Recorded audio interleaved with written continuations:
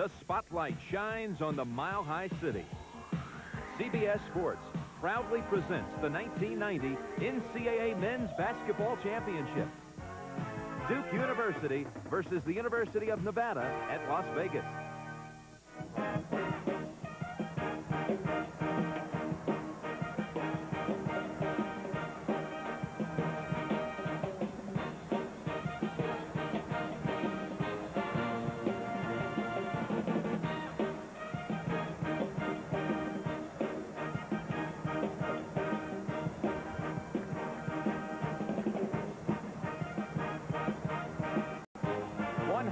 32 years ago, a gold rush in the Rockies drew 19,000 prospectors to this town. And tonight, there are almost that many fans packed into McNichols Arena as two teams seek to strike gold of their own. And good evening, everyone. I'm Jim Nantz, and welcome to CBS Sports coverage of the championship game. 64 teams were invited to travel the road to the Final Four. They passed through places such as Richmond, Austin, Hartford, Oakland, and Salt Lake City. 62 games have been contested from the opening tip to the final buzzer and beyond. And tonight, two teams remain. Two schools separated by the Continental Divide, and they will soon play for this championship trophy. And to call tonight's action from courtside, it is my pleasure to introduce Brent Musburger. Brent? Jim, thank you very much. Welcome and good evening, everybody. You need a six-game winning streak once you come into this tournament to win it. And both Duke and UNLV right now have won five straight games. And tonight, one of them will win their first NCAA championship. Duke has been here eight times, yet they have not gone home with that elusive trophy. As for the running Rebs of Jerry Tarkanian, they've been here three times. And Billy Packer, they're still looking for their first championship. One edge we have to give Duke is that senior leadership you've told me about. Brent, it's almost incredible. Danny Ferry holds the all-time record of playing in NCAA tournament games at 19. But take a look at this ball club.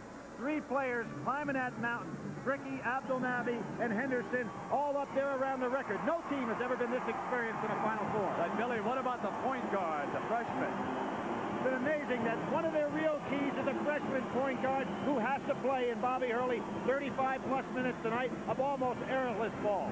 We spoke to Coach Krzyzewski just a short time ago. Bobby Hurley is almost 100%, feels better than he did Saturday. On the other bench, Jerry Tarkanian, your evaluation of the Sharks. Well respected by all of his coaches, is one of the great teachers in the game of basketball. And when you look at his all-time record, he goes up there against the legendary Clair Bee, a Hall of Famer. He's only in second place among all guys that have ever coached the game of college basketball. And one of the marvelous defensive players in the history of the college game, Stacey Augmon. Stacey Augmon has been, without question, the best player in this year's NCAA tournament on both ends of the floor. It's going to be interesting to watch him match up tonight, particularly if it's Phil Henderson. And Billy, we spoke to the two coaches, Krzyzewski and Tarkanian, and this is how they broke down tonight's championship matchup. Well, there are two big people inside that causes problems because we're not a real big team. You know, Butler gives us good size, but he's not very wide, and uh, Larry Johnson's real wide, but he's not very tall. So, you know, we have a, a little problem there. With their perimeter pressure, they make you turn your back when you have the ball. And it's kind of like rushing a quarterback in football where you can't see all his receivers. That's what they try to do, and uh, they do a good job of it. We have to do the best job we possibly can on Henderson. He's a great player, and, and our two inside people are really good. Uh, the, I think they're really underrated. I think you know Augmon will be the best player on the court. Uh, I mean, he, he can have the biggest impact on the game because he's already a great defensive player, and, and in this tournament, he's proven to be an outstanding offensive player. Billy, how do you break this one down?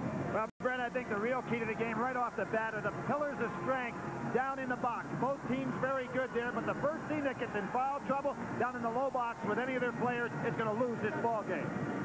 Time to prime time. What I'm talking about there is what we saw Saturday. Moses Scurry off the bench playing a big game. Somebody can come off the bench tonight for either team and change the balance. That's how close it is. And re-augmentation. We used this one again Saturday. Stacey Augmon has been the stopper on defense. He could do it again in this ball game. And the last thing has to do with the coaches down the aisle. They've all been here before, but they've never walked down that aisle.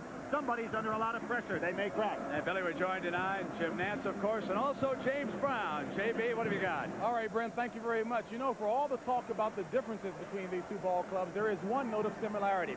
I talked with the players just a few moments ago, and they say on both teams that it's important tonight to win this game for their coaches as much as for themselves. The Duke players say they're a little sick and tired of hearing all the criticism of Mike Krzyzewski, who's been to a Final Four three times but yet to win it, being criticized for being unable to win the big game. Perhaps that's the reason why Mike Krzyzewski told a friend in private, I really feel this is my year. The Running Rebels, on the other hand, feel that no matter of victory tonight, it still won't diffuse the perception that they are a program of renegades. However, a national title will elevate their embattled coach, Jerry Tarkanian, to a new stature and perhaps gain him some newfound respect. So coming up, it's the national championship match between Duke and UNLV. Starting lineups coming up next on CBS.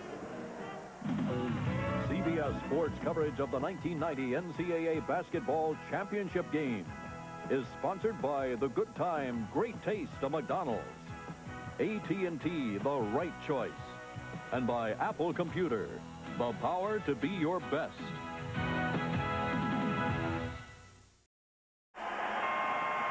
With the sun setting behind the Rocky Mountains, we get ready for an NCAA championship. And to meet our starting lineups, let's join the PA announcer, Frank Fallon.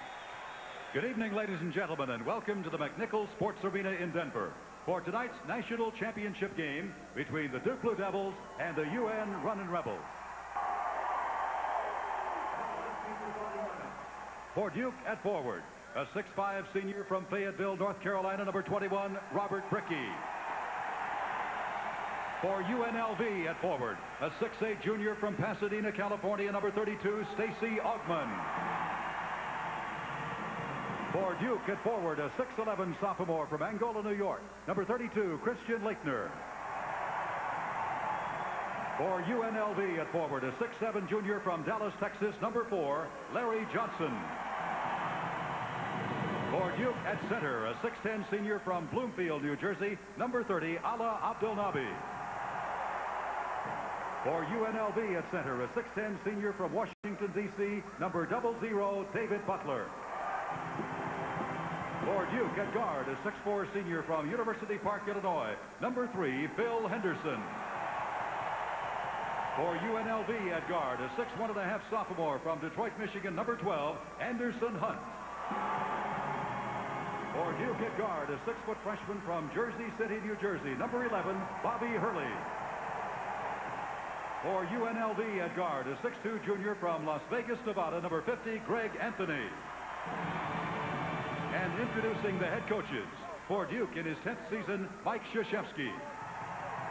For UNLV in his 17th season, Jerry Tarkanian. And the Sharks' favorite towel a short time ago was prepared for this championship game. Both Tarkanian and Krzyzewski looking for their first title.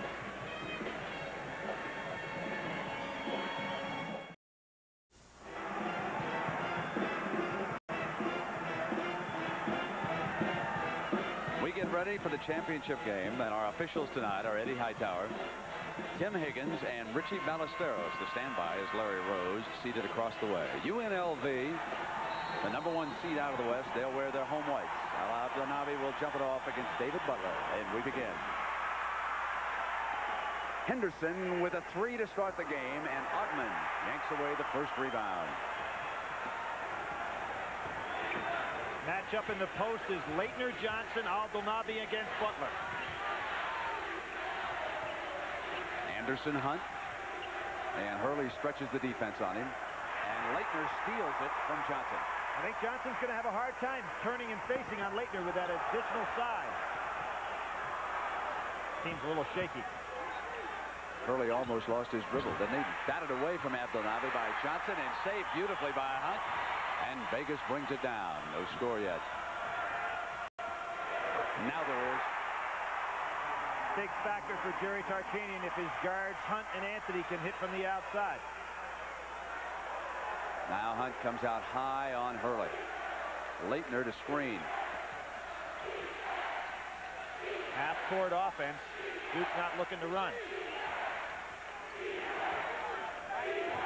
And Augmon's on Brickey.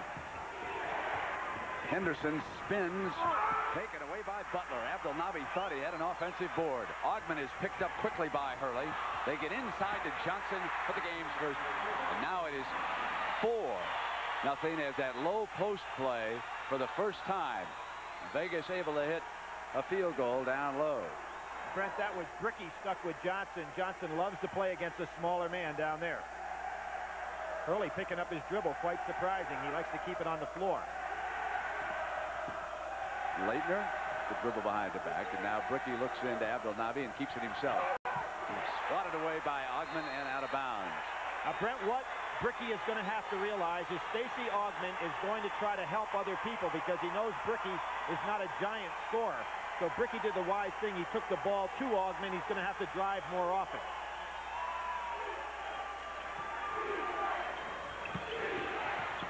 Abdelnaby fouled by Johnson.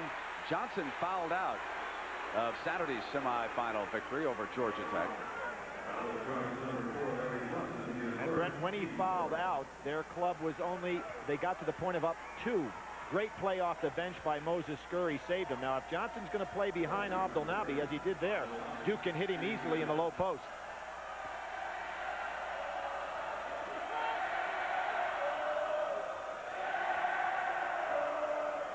And one thing about this Duke team, they have made more free throws on the year than their opponents have shot.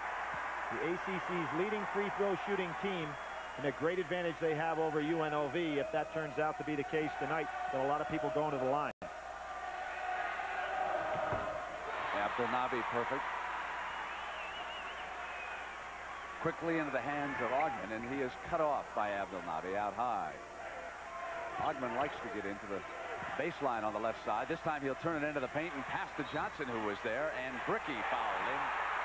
Second time tonight, Duke gets caught on a switch where Brickey ends up with Johnson. Abdelnaby, that time on Augmon. That is not what Mike Krzyzewski wants. As you can see right here, Abdelnaby, who's supposed to be playing low post defense, gets stuck with Augmon, who can beat him easily. And then Brickey, for the second time, gets stuck down there with Larry Johnson. And believe me, no 6'5 man, despite the fact that Brickey's a good leaper, is going to handle Johnson down there. Chance to complete the three-point play.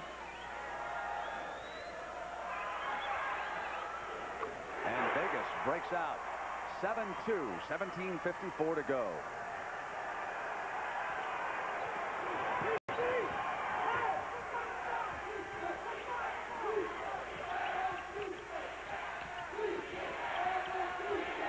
Butler, a good defender on Laettner down inside, fighting over the top. They get into Laettner now, and he hits Abdelnaby for Duke's first field goal of the game. We talked about pillars of strength, Brent. It looks like both teams going down in low early to challenge that defense.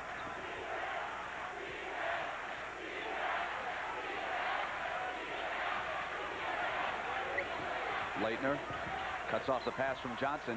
Anthony misses into the hands of Brickey. Good inside defense by Laettner that time. Good cut. Brickey's inside on Augmon, and he drew the foul. Chance to tie it as he comes to the free throw line. This is a key to this ball game. Where Brickey likes to score, Augmon doesn't have the same opportunities he did as a defender against the likes of Bo Kimble and Dennis Scott because Brickey will score down there against anybody with getting good position. Augmon is going to have to be careful not to try to help out so much because Brickey will get the ball down low.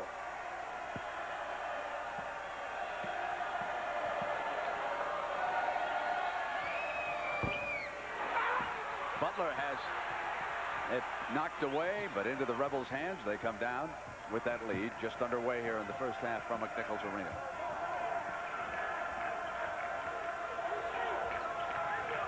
Knocked away by Henderson, but into Augmon's hands. And Hunt is successfully cut off. Tremendous half-court defense being applied by Duke. Anthony will Good take. That's his second field goal of the game. Great fake by Anthony. He looked to pass, and that throws the defenders on both sides. Three-point lead for Vegas.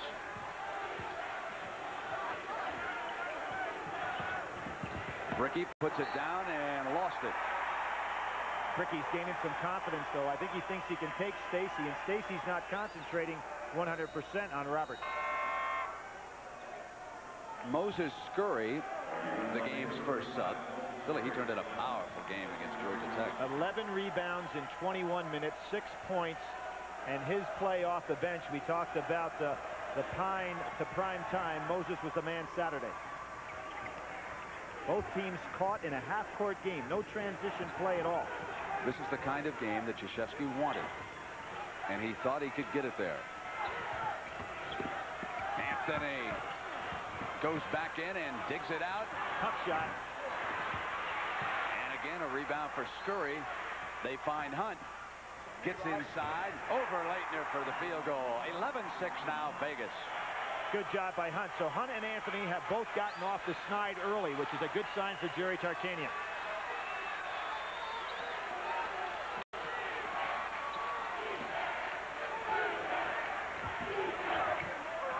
Laettner on a runner committed an offensive foul. His first of the game. We'll take a timeout. Krzyzewski complaining that he was cut off. 15-24 remaining first half. But as you study these scores on Duke's road to the national championship, look at how many points they gave up. The most that any team scored. Arkansas on Saturday with 83. This is a tough defensive unit trying to win the school's first ever national championship. 15-24 to go. First half with Billy Packer. I'm Brent Musburger. 11-6. 2-2-1 full court press and he gets Scurry for a double dribble. That really caught Jerry Tarkanian's club off guard because you wouldn't have Scurry back there handling the ball. Good move by Mike Krzyzewski on the timeout. Abdelnaby out of the game with Davis in. Ricky for the layup. 11-8.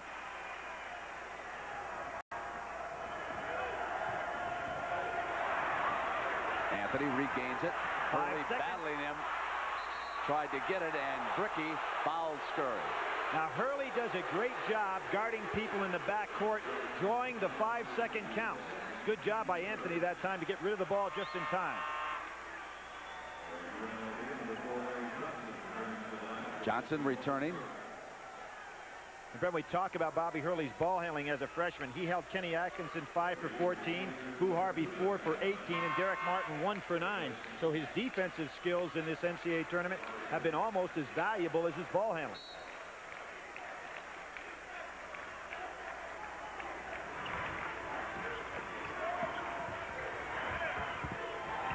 Koubek too small for Butler. Too small for Butler. Was able to front and battled it out of bounds off Butler's hands and forced the turnover. And that's because he got help from that weak side, Billy. He did. And what also happened was that Hunt was too impatient to get the ball down there. Some funny matchup, matchups on the court right now as both coaches go into their bench. Good double screen from the double low. Henderson with a lot of time misfiring. Johnson off with the rebound. Lead now to Augmon in a foot race with Koubek. Hurley's back. He'll go inside him. And a blocking foul on the point guard. Score the field goal. He is poetry in motion on the fast break. We've said this time and again throughout his career, but Stacey Augmon is the best finisher on the break that I have ever seen in college basketball beautiful faking. He's in control all the time. He can glide with his jumping ability. He's very smart and intelligent with his decision making on the break, and he can use right or left hand. Super player.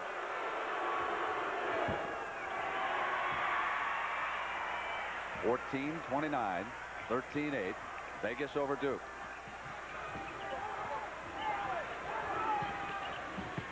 Laettner putting it down, and he travels.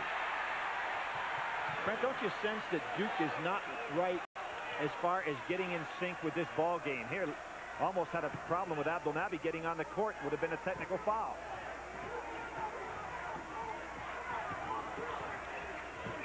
Johnson, short. They appear to be into it defensively, but they're out of sync here at the offensive end in the early minutes, Billy.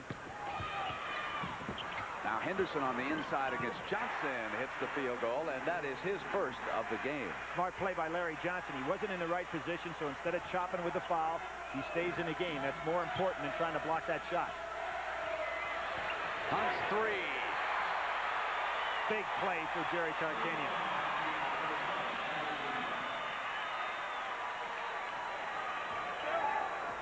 Hurley, the last time down floor, tried to penetrate with the dribble. He's picking up his dribble too early against Vegas. They overplay well on the pass. To Laettner in low. Butler coming after him, fouled him. His first. Now UNLV, and they are within 85 points of breaking the tournament scoring record. Twice they have gone over 100 against Arkansas Little Rock and Loyola Marymount. Brent, that held by that Billy Tubbs Oklahoma club that holds the record for scoring but did not win the championship as Danny Manning went crazy.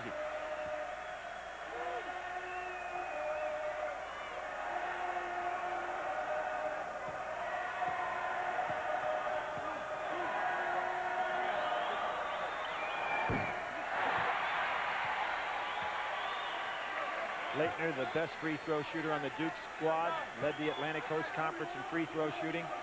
Very unusual for a center.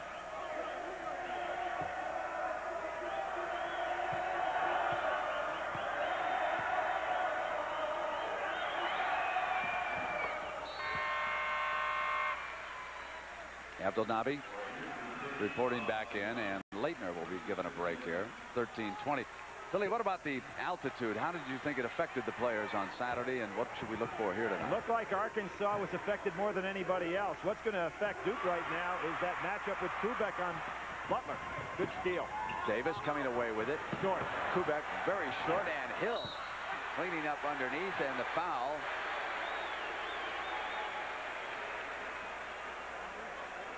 Number two on Augmon. Got some tight releases out there. That shot by Koubek, you talk about air balls, that was about five feet short.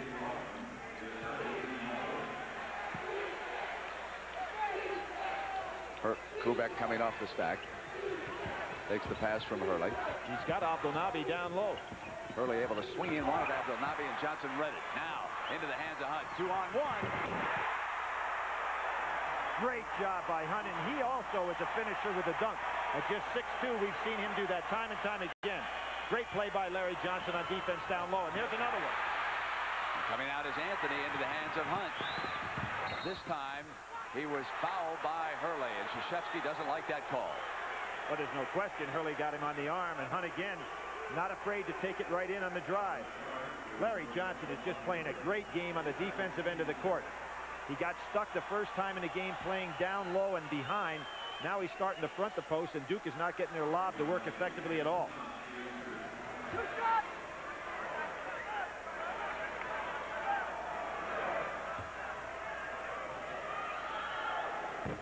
Then I like the substitution coming in here by Jerry Tarkanian now with a little bit of a working margin. He's going to try to go to his bench a little deeper. He did not get a good play off the bench the other day except by Scurry who had the big game. And here we see Travis Bice coming in, probably as you can see coming in for Hunt. So he's just going to take a gamble here and see if he can get some minutes, quality minutes off that bench other than Scurry. Smart coaching move. And we also saw Henderson check back into the game for the Blue Devils. And now Bice will replace Hunt. And if you're going to need your subs at the end of the game, let them get a little taste of the game in the first half. Because it's hard to come in cold if you've never played before. Steal by Augmon. Henderson's back. He's special. Duke has not adjusted in their half-court offense at all. Very tentative. Duke has turned it over seven times here in the Eight. early going. Johnson back to Augmon. Wanted Johnson. Look at Johnson's quickness. What a play! Saves it, and here's Anthony. Now it's Bice. Inside to Augmon. Abdelnaby there, and Hill comes away with it for the Blue Devils. Well, the, the team on the floor now for Duke, and you talk about a gutsy move by Mike Krzyzewski, he only has two starters on the floor, and his club in serious trouble. he may have to really hustle to get somebody else in the game. He, his club's totally out of sync. Hill putting it down, and he is fouled.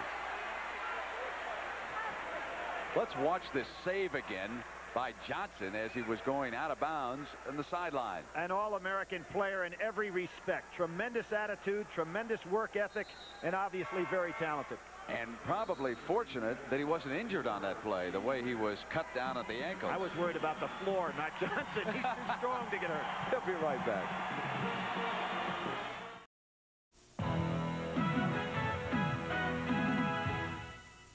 Vegas with its biggest lead of the game.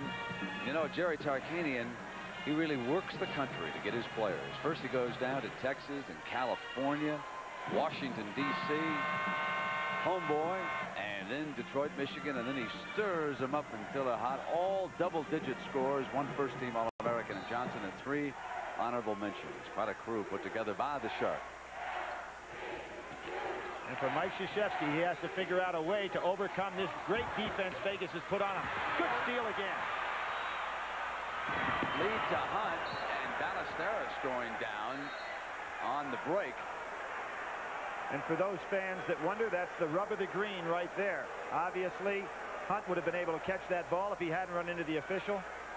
But it's got to be turned over to Duke. Great defense so far by Vegas. Duke not in their half-court offense at all. Duke's average turnovers has been 15, and already there are nine here tonight. Laettner misfiring, taken away by Abdelnaby. Over the top of Scurry. Hesitation dribble. No place to go. Now it's Hurley trying to squeeze through, and he does. Dishes Brickey. No basket. The foul is going to go against Scurry. Probably a pretty good foul for the simple reason that Brickey had an easy one. Pretty tough for a guy like Scurry to draw the charge. You can see him stepping over. As he does, he tries to get a piece of Hurley. Without question, he didn't have his feet planted when Hurley made the move to the side. And a brilliant move by Hurley it was not to draw the charge. Philly team fouls, six against the Rebels and five on the Blue Devils. But for UNLV, there's been good distribution on the fouls.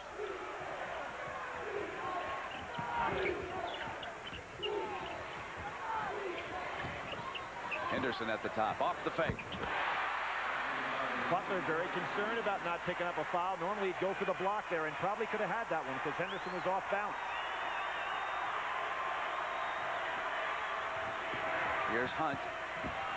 Gets to the baseline on Hurley, gets him in the air, and then bangs in another field goal. That's 10 first half points now for Anderson Hunt. Well, and if you're a Vegas fan, you have to feel very comfortable now because they just don't lose when Hunt is hot.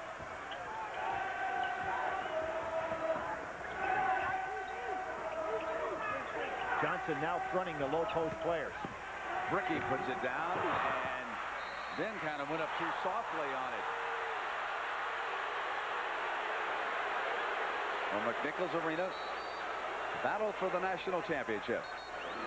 UNLV has led it all the way. It's 23-15 with 10.08 to go in the first half. And Brent, I don't think anybody's called a time. Yes, Jerry now, he, he wonders why his players are over there. And the official saying, hey, nobody's got an official timeout. Now we'll take a break.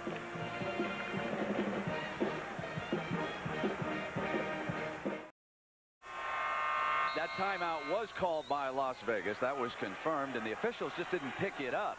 The players had gone over to the sideline, so Vegas brings it down now. They've led it all the way. It's 23-15. 10 minutes to go now, and Young, who is checked in off the Rebel bench, goes to Butler, who's out high.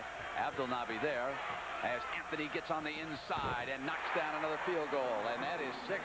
And now, Billy, their guards have 16 points. They, ha they have 16 points, and to me, they have set a stage in this game that's going to be very difficult for Duke to handle. Now they go to the amoeba defense. First time tonight we've seen the zone. Henderson, the man that would want to shoot looking for it. Coming up short, Johnson rebounding. Anthony eyeing the floor. A very positive start here for the running Rebs. And Hunt missing that time and into Laettner's hands. wanted to up-tempo the game a little bit. And I think Mike Krzyzewski at that timeout told his team to up-tempo. They're playing very passively up to this point. Henderson coming in, hitting that one, giving him six, three field goals on the evening now, 25-17 in nine minutes.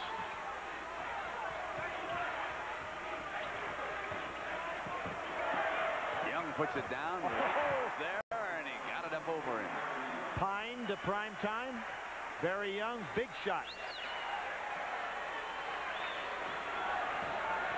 And there they are in the zone. Shaped out like a 1-3-1. And then takes the shape of the offense. Another Duke turnover. That is 10 for the game as Hurley fired that one out of bounds. Bobby Hurley, surprisingly to me, Brent, for the first time in the tournament, has crossed half court, picked up his dribble. He's done that constantly tonight, whether it's man-to-man -man or zone. Against a club that's a good defensive team, the point guard has got to keep his dribble alive.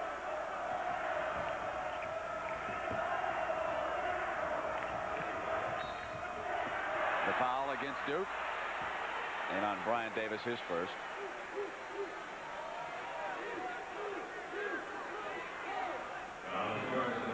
Augmon watching from the Rebel bench. Hunt leading their scores with 10.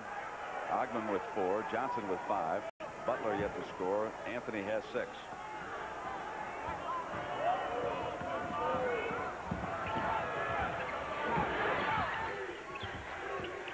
Anthony wants Johnson low. Couldn't do anything, and it'll be Anthony coming down to the baseline. Excellent two-man game. Now hits the three, and he's got five points off that Rebel bench. And Jerry Tarkanian's towel is under his seat. When he sees points coming from the right kind of people he never expected, he's got to be comfortable right now.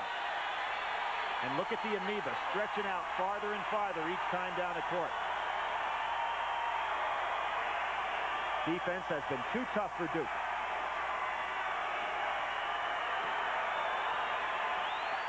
Got to break somebody up to the top of the foul line to handle that ball a little bit. Knocked away from Henderson. Another turnover. Lead pass for Anthony. That's to save it, but into Davis's hands. And Brent, Duke is going to have to start beating UNLV back down the floor because they're not scoring against their half-court defense.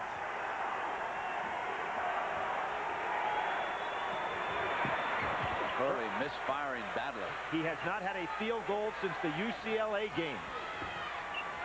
Laettner coming inside, and Abdelnaby fouled. Good foul by Jones that time. So Jones, Young have all played extremely well coming in off the bench, as did Scurry.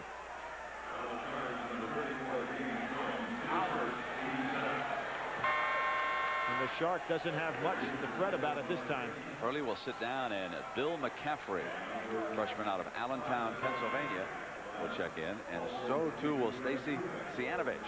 So the Sharks saw that change and immediately sent Cvijanovich out onto the floor and started nibbling a little bit on that towel. Well, you know, the towel all started way back when Tark used to get a dry mouth, and he didn't like to drink water because the cups always fell on the floor and spilled out. So he's the one that came up with the idea of sucking on that towel, and he's been doing it ever since. Duke is very tight. Only three of seven from the line, and they normally are a good free throw shooting team. Vegas leading at 30 to 17 at the seven-minute mark. And able now to play with only two starters on the floor. So everybody's getting that rest. Good screen by Jones. Hunt comes inside. Winds up in the hands of Davis, but Cvijanovich gets it back, and now Hunt arches a three. McCaffrey coming out, and he's stopped by Hunt immediately. See, Duke is not forcing the ball up the court quickly. It allows Vegas to get set.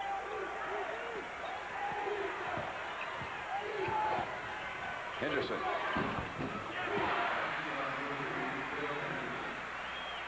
Eight points for Henderson.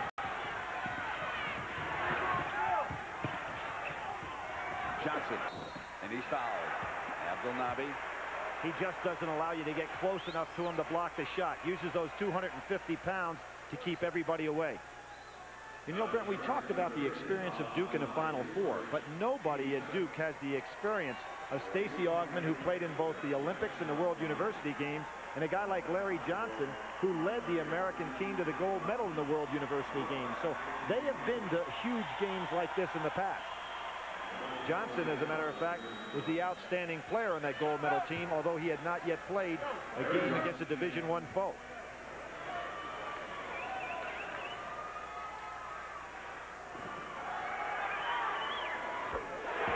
Funny hesitation on that shot. You know, none other than a guy who really knows when people put in effort. Gene Keady of Purdue told me, who was the coach of that team, said that Larry Johnson might be the best person player that he has ever had on the squad. So he's got more than physical talent.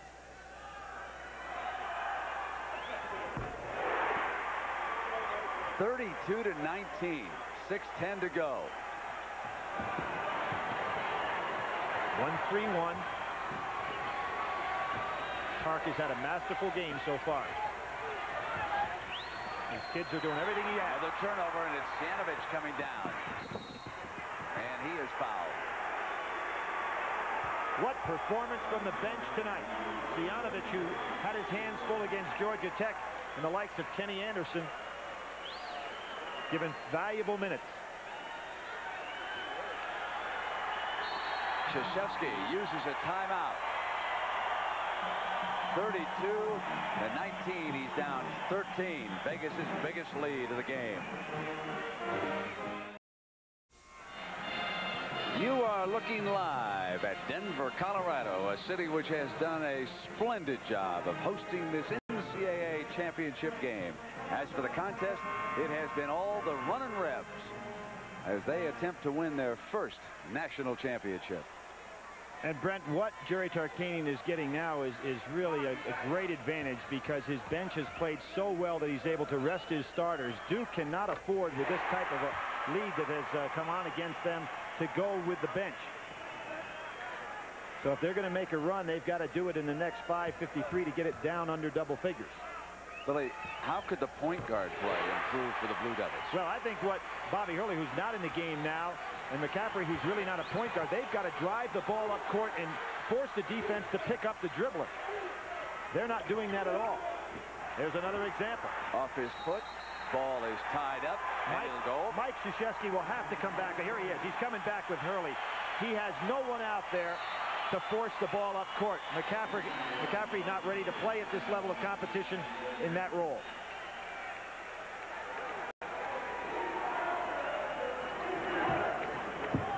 Thirteen turnovers by the Blue Devils here in the early going. Well, UNLV will force 20 turnovers plus a game, so that's not unusual for them, but Duke's been able to hold that off. Augmon, not an outside shooter. He was thinking about that one. Traveling, it goes over to the Blue Devils. Well, Stacey has 16 threes this year. His first year on playing at UNLV as a freshman only shot three all year long. Billy, to give the folks an idea about this Vegas defense, not only 13 turnovers, but they're shooting only 42% from the field here. Now Koubek gives it up to Henderson. Cvijanovich was flying at him, and he misses. Scurry off with a rebound, and this is some show by the running Rebs. Now uh, Duke is standing still so much. That's Butler's shot. He likes that fadeaway jumper. An offensive rebound. The putback wouldn't stay. Scurry a second time. Can't get it to fall. And Henderson comes out with the dribble. While Scurry is arguing with the official, Duke gets their first chance at a fast break. Hurley fouled by Bice. And Jerry Tarkanian goes crazy at Moses. And what he's telling him, don't argue with the officials. Run back down on defense. Now remember Saturday? He did a similar thing. The only problem was the ball popped loose he was at the wrong place at the right time and ended up with a layup. But eventually that's going to work against you. You can't stand there and argue with the ref. And that's why James Jones is off the Vegas bench and Abdelnaby in the Duke lineup. These free throws could be a key for Hurley. He has not shot well. As I said, hasn't had a field goal since the UCLA game. That's a long, long time ago. He needs to get the feel of the ball going in the basket. His first point of the game, Billy. No assists and three turnovers. Played 43 minutes against Connecticut with eight assists and just two turnovers against a team that played aggressive half-court pressing defense. That picture of the told you that Anthony and Hunter back on the floor now for the Rebs. Well, Jerry goes back with his regular starting lineup. Augmon, power underneath.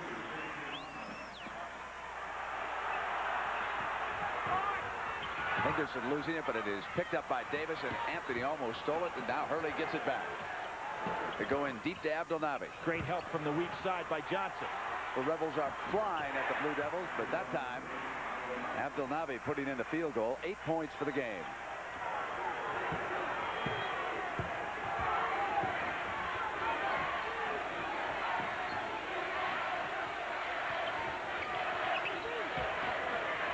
Johnson.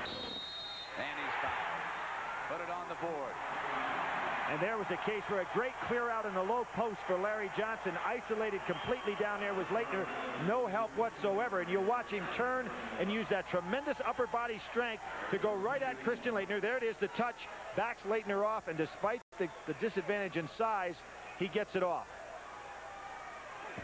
You cannot afford to not have somebody doubling down on him to make it a little tougher for him to turn and face.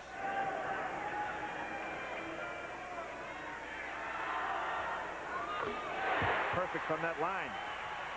The difference in this game from Saturday's semifinals is that Las Vegas came to play tough defense in the first half. They That's waited until the second half against Georgia Tech.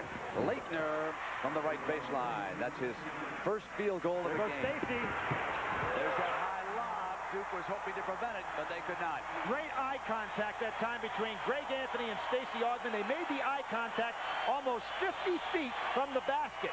And Stacey just took off. Total domination here by UNLV on both ends of the floor. The quickness on defense. That's the move by Hurley. You got to dribble into the middle of that zone. And it opened it up for Laettner. 41-27. Las Vegas. The switch now. Alaa Abdelnaby on Johnson.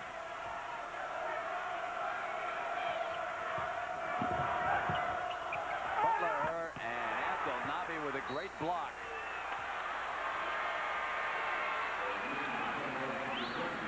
Brent, we'll see what I was talking about. The eye contact had already been made. There's Stacey Augmon with that tremendous ability of his to glide through the air and a great catch. Excellent pass by Greg Anthony, who's having a superlative game running the show. Knocked out of bounds by Davis.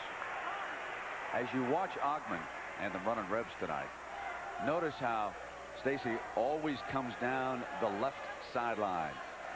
And Hunt down the right to look for the three. Augmon down the left to look for the dunk. Good transition game.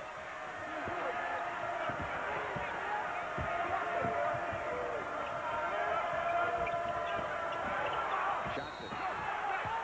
Offensive foul is the call. Larry Johnson really didn't need to take that shot, and he knows it. He's smiling coming up off the floor, and Scurry's going to get him out of there so that he doesn't pick up another foul. Johnson will come back down the floor with two personal fouls. So it will be Johnson still out there. Scurry having checked back in the game. Augmon up front. Anthony and Hunt on that backcourt. Hurley, Henderson, Brickey, Davis, and Henderson. Billy on a four for They Duke. switched back to man-to-man. Even though the zone was extremely effective, they switched back to man-to-man. And the foul goes against Vegas as Scurry came out high. That's number two. Jerry Tarkanian's having one of those games as a coach where every move that he makes is turning out successful. He's changed his defenses at the right time. Substitutions have worked perfectly. He's living a charmed life right now. And obviously his players are executing well.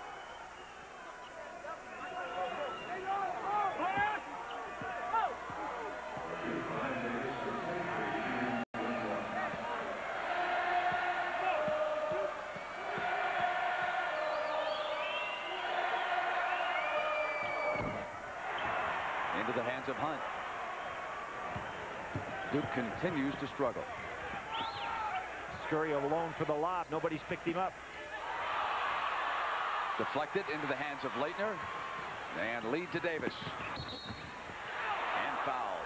He'll shoot a pair, and the field goal would have counted had it gone through. This may sound crazy, but Vegas known as the running Rebs. I think if Duke's going to get back in the game, they're going to have to be the running Dukes. because the half-court game not playing into their hands at all.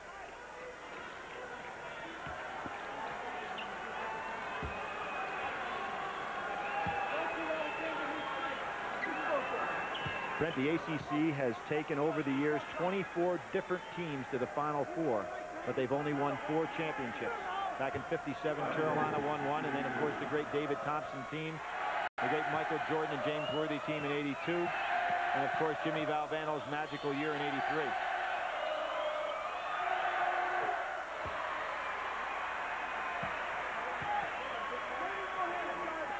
Laettner took a blow right in the face. By a teammate. So when it's going bad, it's really going bad for Mike Krzyzewski's club.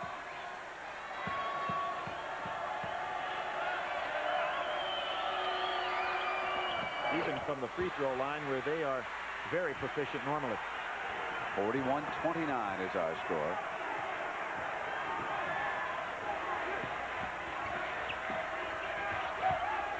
Good half-court movement by UNLV.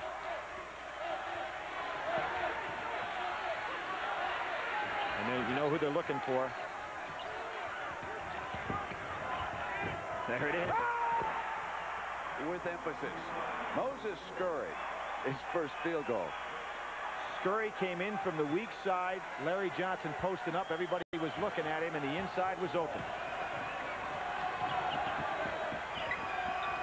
Boy, Anderson Hunt really sitting down on Bobby Hurley. Won't let him penetrate with the dribble.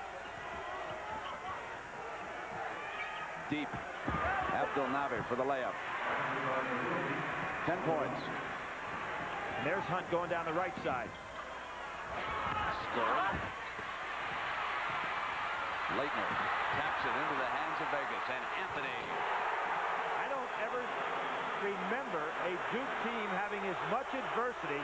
No matter what they do, it goes sour on them. There they had a chance for an easy fast break, and it turned out 3 on 0 in the other direction.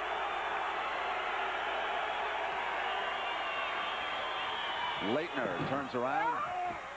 And Abdul Nabi to put it back, misfiring. And a foul is going to be called on the inside against Johnson.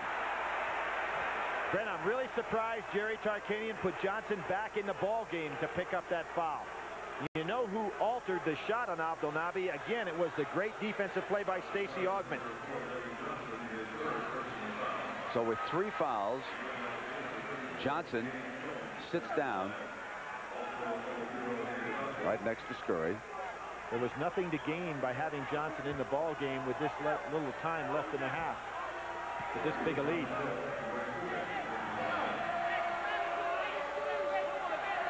And UNLV can hold the ball down there to give Duke very little time. There's only 52 seconds left in the half.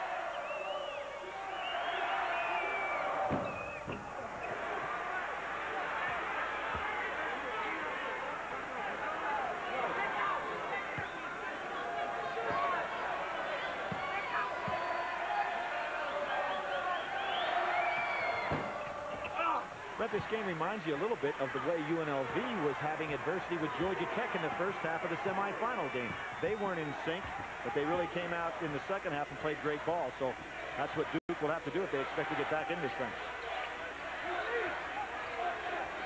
Clock running down now in the first half.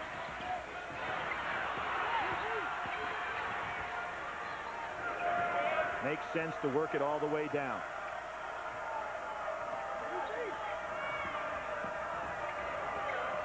If you're Duke now, you don't want a silly foul. You've got the clock as, as one of your teammates. It'll be Anthony up over the top with the 11.8 seconds. It'll be Duke's ball. Mike Krzyzewski wisely gets Hurley in the game for this last 10 seconds. And as crazy as it seems, if Duke were to score here, they'd have it down to 10 points. When you seem like they were, you know, completely out of this ball game. McCaffrey will be on the floor with Hurley, Koubek, Henderson, and Abdelnaby. Hurley tries to drive it through, and McCaffrey comes up, and he is fouled, and this has been a tough night for officials. A couple of them have gone down now. Great pass by Hurley inside. McCaffrey went back door.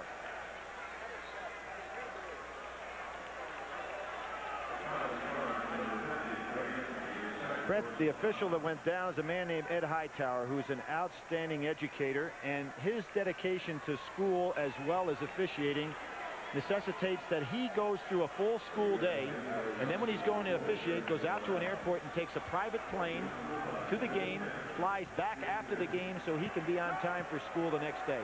One of the real top educators in America. Very dedicated guy. He's out of Alton, Illinois.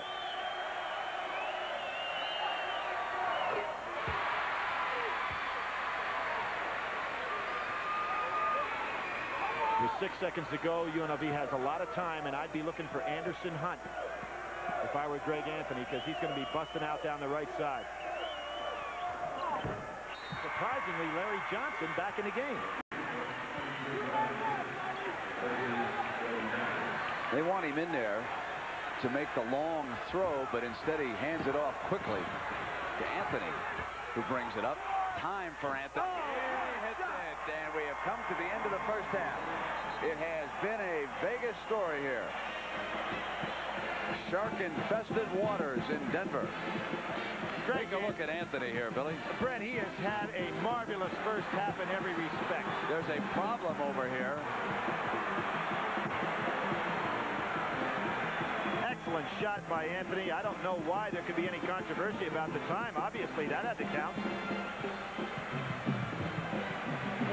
There should have been no question. It's on the board. 47-35, the end of the first half. Jim Nantz will be coming your way as our coverage will continue after this message and a word from your local station.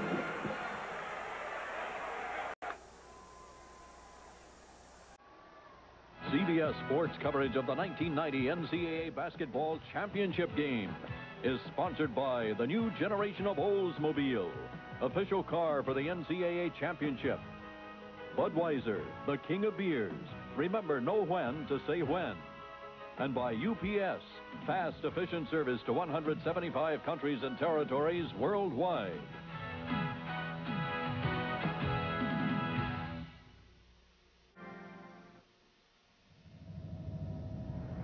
From the Mile High City, we've seen the running Rebels with a cause. In pursuit of their first national championship, leading by 12 at the half, a lead that's been as high as 16 at one point. Jim Nantz along with uh, Mike Francesa.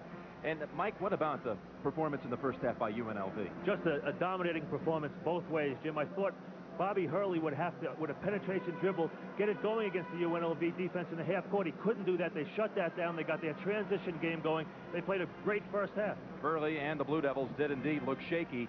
14 turnovers in the first half for Duke. You know, each stop on the road to the Final Four leaves us with a special set of memories. From the major upsets to the smallest details. From the laughter and cheers to the disappointments and tears. Together, they lend this tournament a unique and unforgettable texture.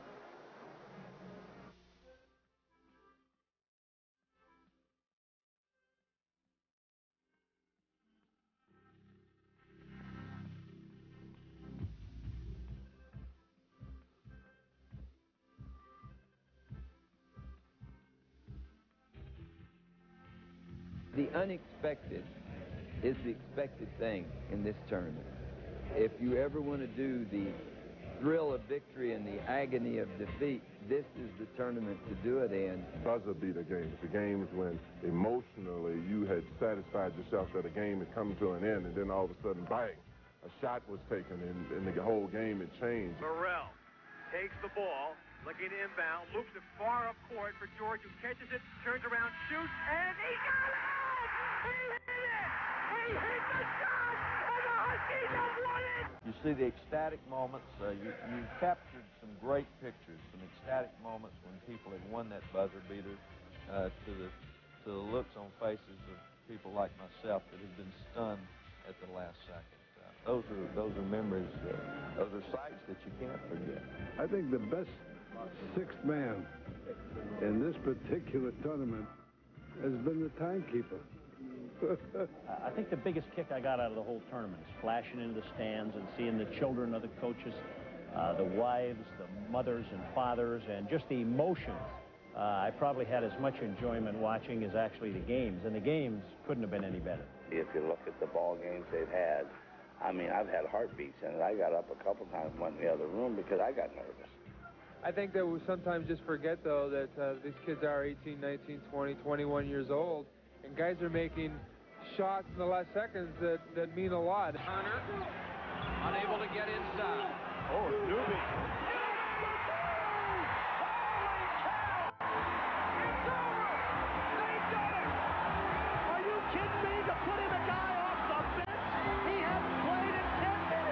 shuffled the cards again and started the tournament all over again, you'd probably see maybe four different teams, at least three different teams in the Final Four this year.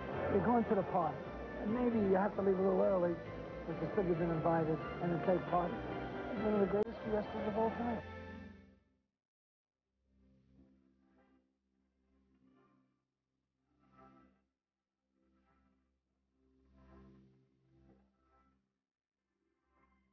It's a special moment for me. Before I take each left-handed free throw, uh, that's Bo Kimble's moment to think about Hank Davis. That is the most memorable. Uh, after that, I didn't know or care whether we won the game or not. Never wanted a shot to win more than, than that left-handed shot. Still remember uh, this team as a, a, very strong bunch of guys who uh, have a, the heart of a lion, uh, just like Hank did. And I think that he's touched the lives of a lot of people in America.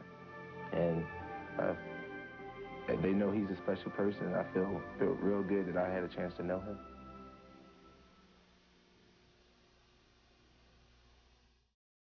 College basketball and the NCAA, a great American tradition. But there's more to it than just a tournament. The NCAA is also taking the lead in the war against drug and alcohol abuse. While young people face healthy competition on the court, too often they face deadly peer pressure to use drugs off the court. So get involved, volunteer, and help the NCAA Foundation be what I call a point of light.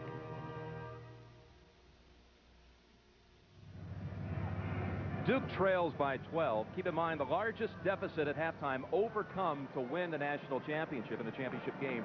1963, eight-point deficit. Loyola came from eight down at the half against Cincinnati. Can Duke do it here tonight, Mike? Sounds like a tough chore, but to do it, Jim, they're going to have to become the running Blue Devils. They couldn't score in a half court against UNLV.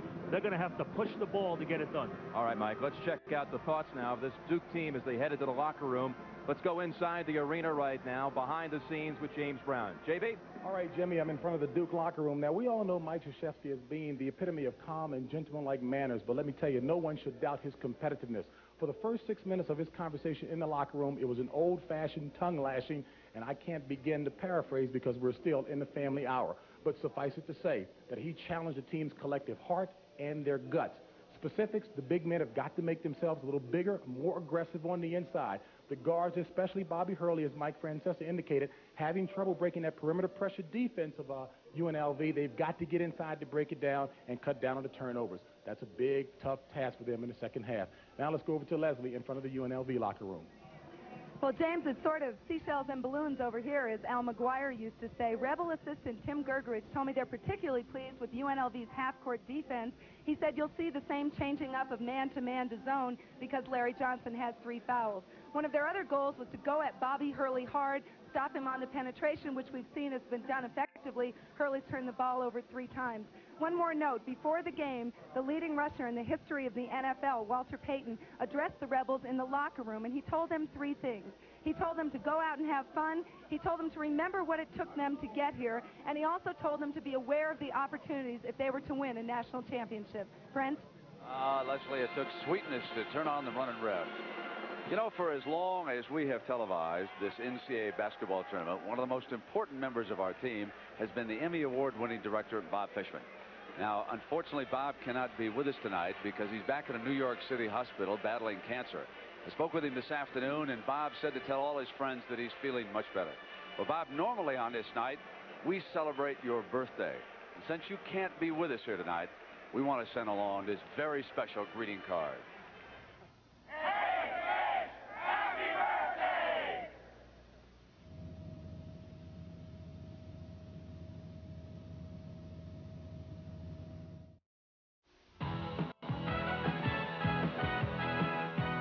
CBS Sports coverage of the 1990 NCAA Basketball Championship game is sponsored by Pizza Hut, An official NCAA corporate sponsor. Pizza Hut, making it great. Diet Pepsi. Shoot for the great taste of Diet Pepsi, the right one. And by today's Chevrolet, who invite you to see why nobody's winning like the heartbeat of America. Billy Packer, uh, the University of Nevada at Las Vegas has led it all the way, and uh, what must Duke do here?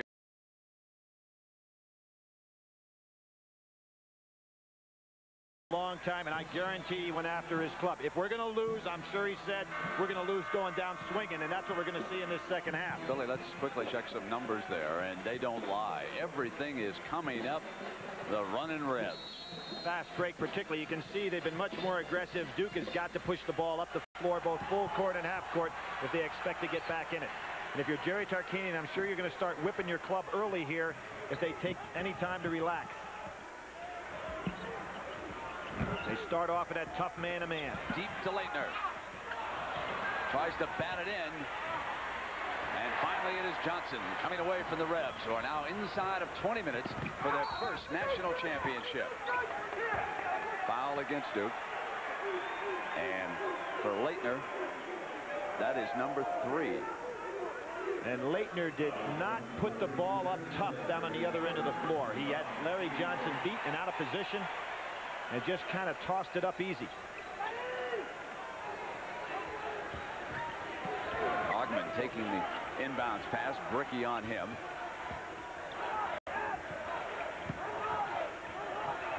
Butler whips it back to the top, and there is Johnson. That's what he did on Saturday. He hit a three against Georgia Tech in the first half, and now it is 50-35. Jerry Tarkanian probably hoping he misses a couple of those jumpers. The pro scouts are just drooling when he can step outside and hit that one as well as play the low post. Hunt continuing to keep Hurley on the outside. Now it is Brickey looking in. Abdelnaby fronted by Johnson, so they'll stay at the perimeter. Henderson. That's 10 points for Phil. Clock is stopped as the ball being retrieved.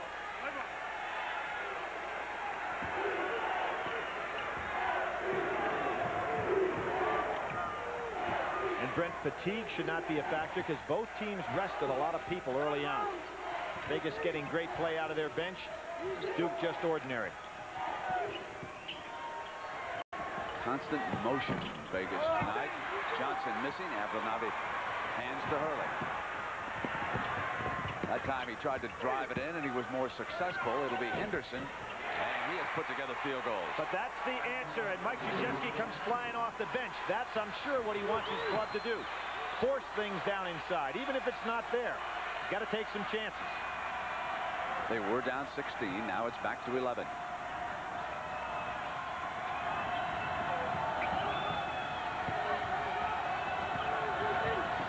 Good push. Deep to Butler. Beautiful play. In behind the defense and help not there quick enough. His first field goal of the game for the senior center, David Butler. You cannot feed the post any better than that. Abdelnaby. And Laettner being pushed by Butler.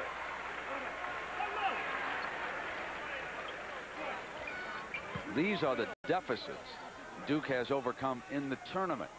Trailing St. John's, UCLA was close all the way. Came back from a five-point deficit against Connecticut. And in our Arkansas game, they were down seven.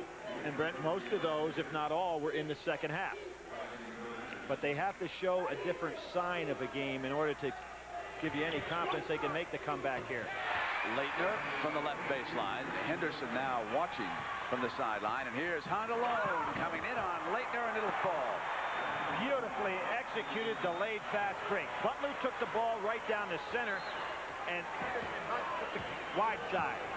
Laettner with three fouls could not jump on him as aggressively as he normally would have. Davis now coming in on the inside.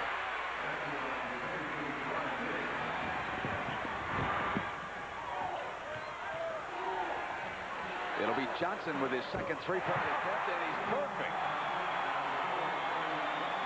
And who would have thunk it that he's going to come down there and stop from about 22 feet and drill two.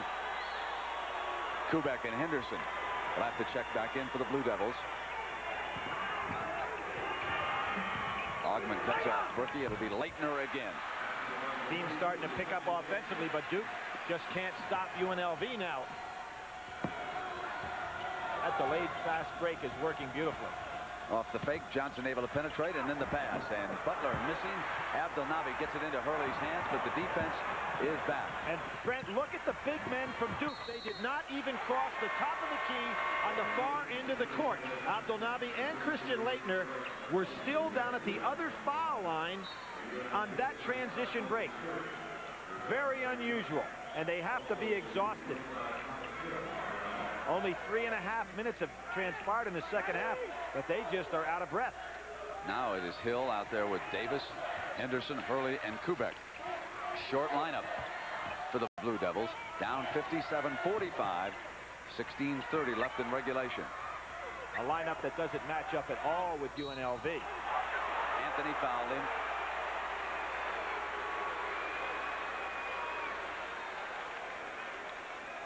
Three starters on the bench. Mike Krzyzewski's shown a lot of courage here, but they just couldn't go any further. He had to look down the floor and see eight players on one end of the court and his two big men 60 feet away. You've got to take them out. Greg Anthony, an outstanding young fellow both on and off the floor, having an outstanding game here tonight.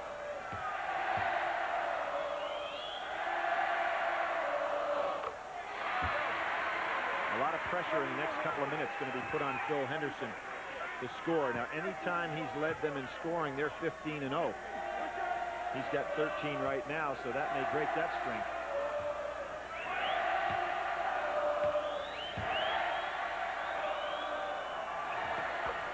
A 10-point game. 16-24 in regulation.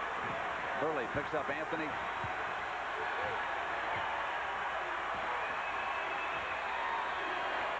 Greg Koubek on Butler. He's the man that could get it. Hunt off the fake. Up over Hurley with the field goal. 14 for Anderson Hunt.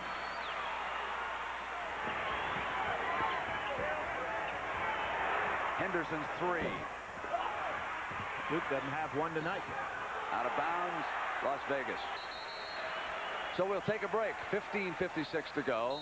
And running Rebs. 59 to Duke's 47. Watch here. We've got five Duke players all ahead of Anderson Hunt right here, who's going to break down the right side. Butler will occupy the defense by going down the center, and watch how the perfect delayed fast break works. Here comes Hunt, beating him down the floor, and the man that was last in the race ends up first at the, at the gate. With Billy Packer, I'm Brent Musburger. 15.50 to go in regulation. It's been all Vegas tonight. They're up 59-47.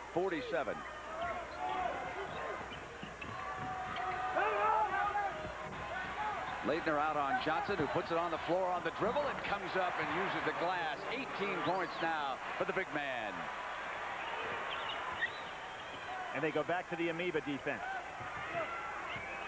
Stretching out to find the man. It's a matchup developed by Buzz Ridl at Pittsburgh. Nice pass by Abdelnaby, no basket. Foul before the shot. So a reminder that at the conclusion of this championship game, we'll select the Chevrolet players of the game. And in conjunction with the award, Chevrolet will donate $1,000 to the General Scholarship Fund of both the University of Nevada at Las Vegas and Duke. Still don't have a three. Knocked away. And Augmon up with it. It's a three on two. Hurley contains him. Cross to Hunt. Here's the three. Brent, this club has won 20 of 21 games. The only loss is UC Santa Barbara. In that game, Anderson Hunt and Greg Anthony only made 5 of 21 shots from the three-point range. You can see tonight that's not the case at all. Another turnover. Augmon forces the pace. Finds Hunt on the break. Beautiful. Timeout Duke.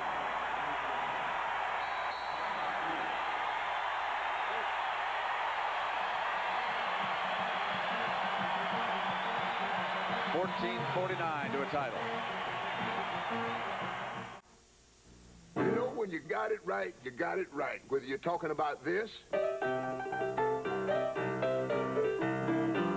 whether you're talking about the one and only Diet Cola that does it for Ray, Diet Pepsi. You know, nothing tastes as good to me as Diet Pepsi.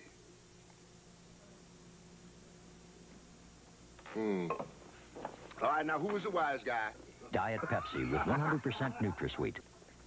Now, that's the right one, baby. 50 years. The Quiet Company. Billy Packer, I'm Brent Musburger. Las Vegas with nine straight points here at McNichols Arena. They lead at 66-47, and they are dominating all the statistics, hitting 61% and allowing only 47. They have never trailed. And Brent, they're really getting confidence now. There it is again. Another steal. It was Augmon Hunt right down the middle for the layup. 21, and it is a magnificent performance by the University of Nevada at Las Vegas. Whips to Laettner from Hurley. Misses, and that's an indication of how this game has gone. At the other end, it is Hunt bringing it into the pass. Augmon, and it's all the running Rebs. They feel it now, and Krzyzewski will use another timeout.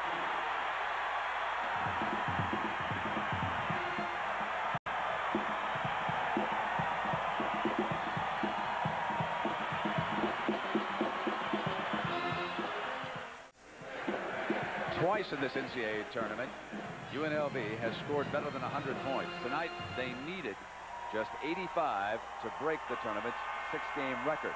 Right now, they're sitting on 70. And Billy Packer, they should get that breezy with 14-19 to go the way they have played here tonight. They have, and they haven't done it by outscoring their opponent on just the offensive end. Their defense has just stifled Duke, taken away every opportunity for Duke to get back in this ball game. Duke's ball. They've been forcing bad shots. Mike Krzyzewski on that last timeout has gone back with a team that is very, very small.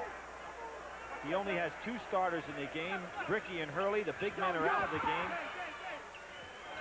Difficult to even find an open man. And as you watch the screen, just notice how the white jerseys close in on Duke whenever they get the ball down in low. Coming through two, Great and the defense was there again. And now it's into the hands of Butler. Everybody runs the floor right now. Mike Krzyzewski, in order to keep this somewhat respectable, will have to come back with size. This is a 15-0 run. Hurley gets inside, whips the pass.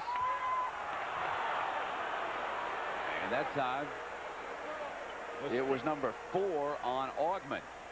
Well, we thought fouls would be a factor, but when you get a game like this, it's not. There goes Stacey out. Remember the story of the Olympics. Made the squad as the defensive stopper, and then was so disappointed.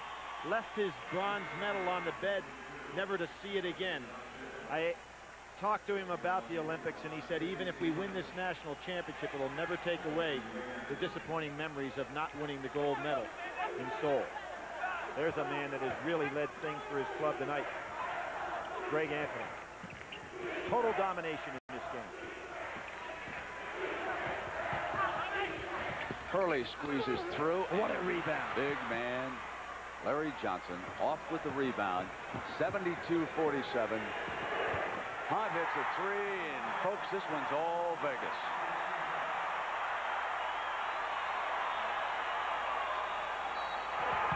For me, you know what's unusual? We've had some games in the final championship where I really felt this was the potential for a blowout. You always told me, no, no, I think they can stay in there. You never made that statement about this one. And I and I really felt I was, uh, I, no, I honestly felt that this was going to be a very competitive game. I, you know, I tend to agree with you, though. Been a nightmare for Mike Krzyzewski. Laettner coming through, drew the foul. But when we were out on the West Coast in Oakland, the way they approached the Loyola Marymount game convinced me that the Vegas team really was the squad to beat coming in here to the, the Final Four. Now, I thought they were very sluggish, and so did you in that first half against Georgia Tech. Well, in that game, I thought, and, and they should show respect for Kenny Anderson, but I thought they showed so much respect it took away from their tenacious defensive tendencies that they usually have. But that wasn't the case tonight at all. They went after Bobby Hurley. They took away Duke's half-court offense and then did it down at their end of the court as well. And that ends an 18-0 Vegas run here at 13.04, 75-48. Tark up off that bench, walking up and down, trying to pretend like he's concerned. But through all the adversity that man has had of late, you know he has to be satisfied the way this club's playing. Yeah, we're going to talk about some of the problems that the Rebels have faced this year and apparently have managed to conquer. Hunt with the three, short, into the hands of McCaffrey. Forcing another bad pass, saved by Hurley. It has been such a struggle when you watch Duke with the ball. And that was Hunt flying at McCaffrey. Koubek getting it back. Davis didn't have it. Laettner battling away on the inside. First time Laettner has been able to finish one off on the inside. Early out on Cvijanovich, causing him trouble. And the blocking foul is called. He tried to draw a charge, and Hightower said no way. Excellent piece of officiating there. Hurley slammed down on the floor, showing his protest. Hightower realizing, hey, that's not a factor in this game. Instead of calling the cheap technical foul, showed good patience here as an official. Now watch this. Hurley will slam the floor if we see it. And Hightower says, no, this is not the time for a technical foul. Good common sense officiating.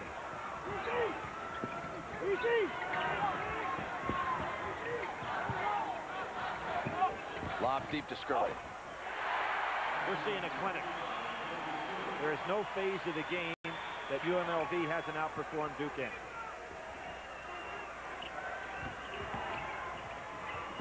McCaffrey. That was the play early on against that zone. Drive it down in there with the dribble. Butler. Fouled by Laettner. And that's number four. Now you start to wonder how many points can Vegas score in this one. And the most points in a championship game was scored against Duke back in 1964 by UCLA. 98 points. And Brent, I remember that game so well. That was the outstanding Jeff Mullins club that was going to the Final Four for two years in a row. Art Heyman the year before in 63. UCLA with the famed press. John Wooden's first national championship team behind Gail Goodrich and Walt Hazzard. It looked like Duke was in control of the game, and all of a sudden the press came, came on, and they couldn't hold back the Bruins, and it was the beginning of some great basketball history for John Wooden and his program. Really with David Butler at the free throw line. Has checked back in.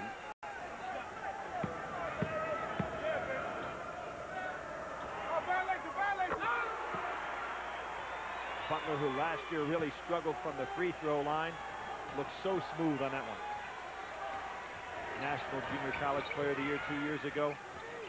Cherry has really put together some club here. But they were the consensus pick to be number one in the nation before it all started, so it's not like this is a surprise.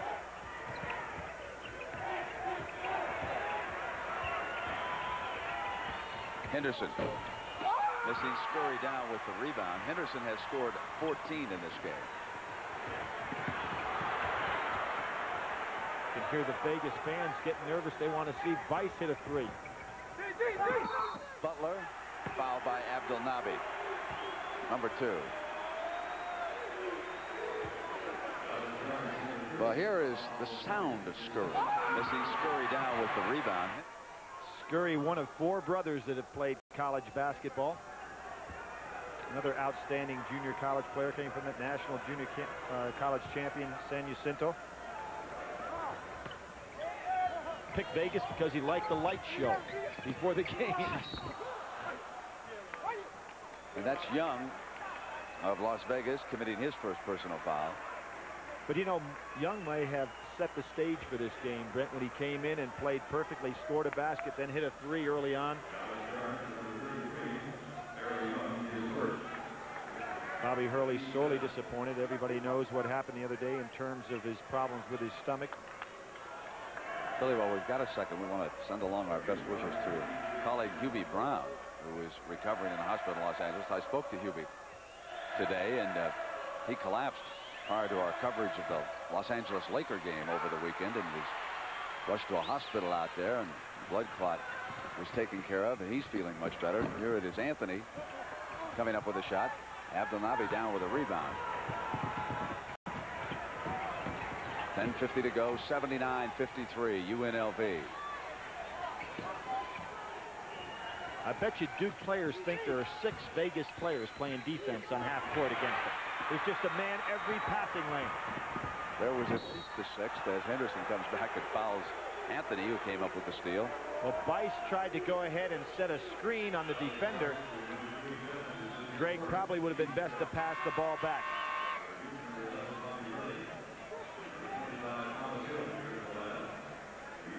And Thomas Hill back into the lineup for Duke.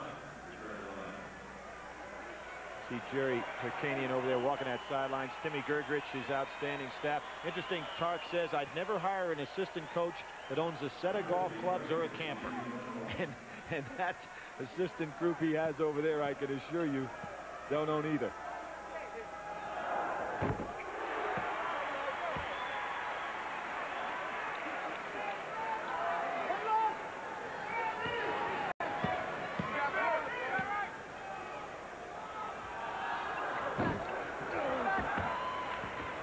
Eighty to 53 and still 10 and a half minutes to go.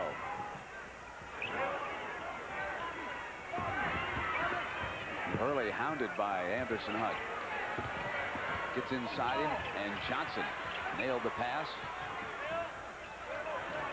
Henderson gets the ball, and there are two men on him. Just this is a great matchup defense.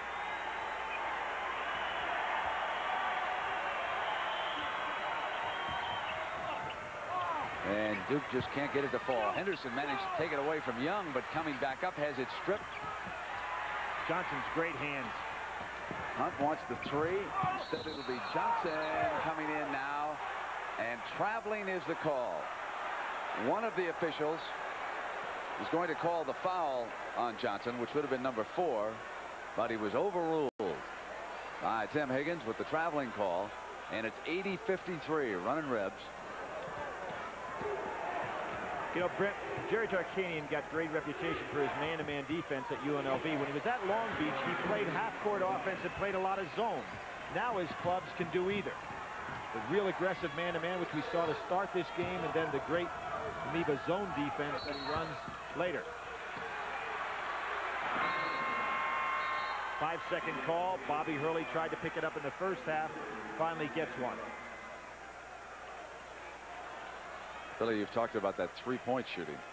And Duke 0 of 6 from that range, and the running Rebs are 6 of 10. Well, the three three of the poorest losses that Vegas had all year, their three-point shooting was down under 24%. That's not the case tonight, obviously. But you can't fault any phase of their game tonight. The towel in place. Not necessary right now.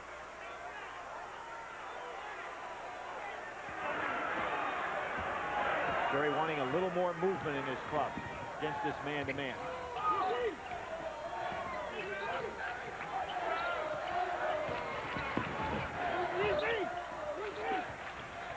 Johnson. He is so good inside, putting the ball back up. He comes down on his shots inside when he turns and faces and really squares up to the basket to be in perfect offensive rebounding position. That's why he gets so many of those putdowns. 22 points, eight rebounds for Larry Johnson. Hunt from the side of Henderson could not stop him that time.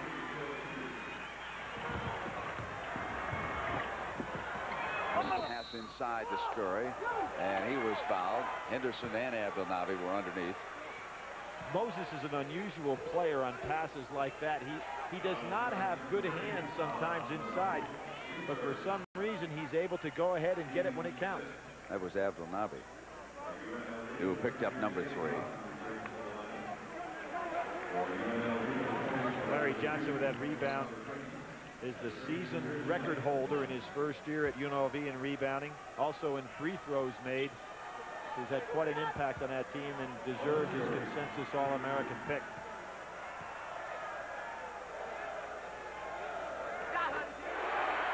Everything's working. We're looking at a 56% free throw shooter that hit nothing but net.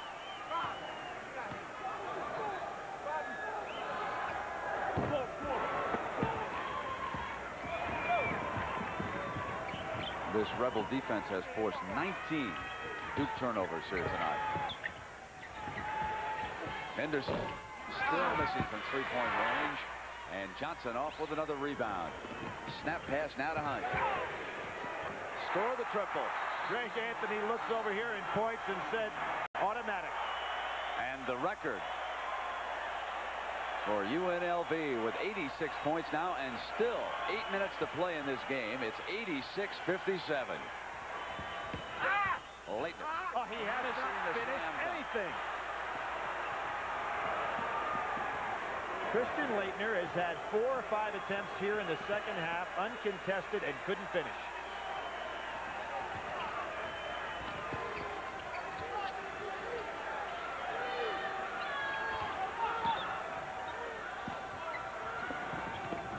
Anthony coming around with Hurley chasing him as they bring seconds down off the clock now. Sensing that a national championship is inside. It's 7.30, 86-57. Their tremendous defense has set this up. Bad pass. Hunt could not save it. Over and back, and it goes to Duke. And again, Mike Krzyzewski will try a different lineup. The reason Jerry Tarkanian is stopping over there is because he, Moses' job is to stay under the basket. He has no business out there. And Jerry, who likes perfect execution in this semi-delay game, is not going to take it. Billy, I want to talk about Jerry and his program. The NCAA suspended six players earlier for one game for failing to pay hotel incidentals. And what about some of the problems that uh, they have had to overcome with this program? Well, you know, Jerry brought problems to UNLV when he arrived. The problems were at Long Beach State, where that team was put on probation. He was he avoided being penalized himself when he moved to UNLV, and I think the NCAA chased him over there, uh, and rightfully so. Uh, and they've been chasing, of course, ever since in the courts. He is presently uh, in a situation uh, involving a, a further investigation. And I think that Jerry has turned his program in the right direction. And, uh, and unfortunately, uh, in this particular case tonight, he's going to have a national championship, and I think the program is moving in the right direction. Whether he can overcome the previous problems remains to be seen. Larry Johnson, as a matter of fact, is the only player on this team that has played every game this year because of some of those suspensions. Now, Tarkanian was ordered suspended for two years by the NCAA, and that suit went all the way to the Supreme Court. And it was won by the NCAA, and that group can go back on Tarkanian for penalties, but there is a state injunction forbidding that he be suspended for two years. So it doesn't seem likely that the NCAA will seek the maximum. But this is a team that could indeed be facing some penalties down the road because of the recruitment of Lloyd Daniels, who was a high school star out of New York, but who's had a very troubled recent past, and part of it involved Vegas. Nevertheless, this team on the floor, very well coached, and a player like Larry Johnson is just a remarkable young man. And he has provided some character and leadership for this team. And so not all of what you hear and see with the Shark is bad. Well, certainly not activities in terms of their practice sessions and the way his team performs. Johnson and the putback by Augmon. 90 to 59. Brent, the Duke club has been demoralized since that tremendous 19-0 run, and they're going through the motions right now. Uh, Jerry again showing his ability as a coach, saying the object is to win the game, not to break records here, and that's why you see a much more patient approach to the way they're playing half court. Great fans in Las Vegas, we should point out. You can hear the noise in the background. They have a lot of them in McNichols here tonight as Cvijanovich hits the three.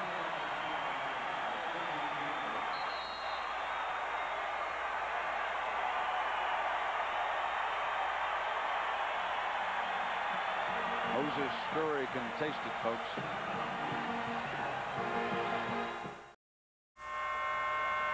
Pikes Peak is not too far away from Denver, and the Running Rebs are hoping to get to the top. That's the only summit that they have failed to reach the NCAA tournament. And in this half, they have scored 46 points to Duke's 24. And the chant now is Big West, Big West. As Laettner coming up was fouled, and he'll shoot a pair. And that's the conference that the University of Nevada at Las Vegas plays in and normally dominates every year, we should point out, although there were some other good teams in that conference this year. Very good. UC Santa Barbara, an outstanding ball club. New Mexico State, which was one of the finest games I saw all year. The Tark went down there and lost. Long Beach State the Joe Harrington, who has now moved over to this state, is going to be coaching the University of Colorado. And Stacey Augmon fouls out.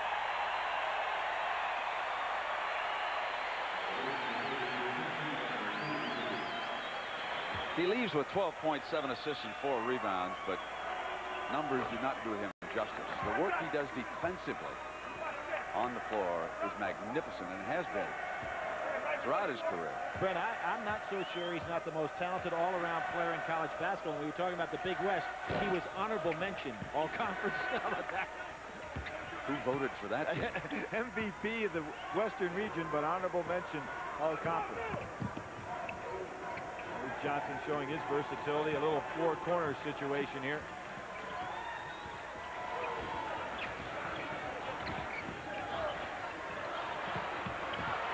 Henderson chasing out on Bice. Now Bice putting it down, loses it. Duke's ball. 23 points is the biggest margin of victory ever in an NCAA championship game. And that was when UCLA beat North Carolina 78-55.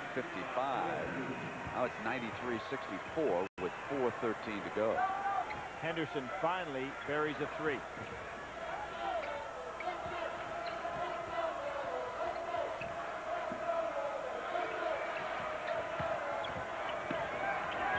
Battling inside for that field goal was Jones, and that's his first of the game.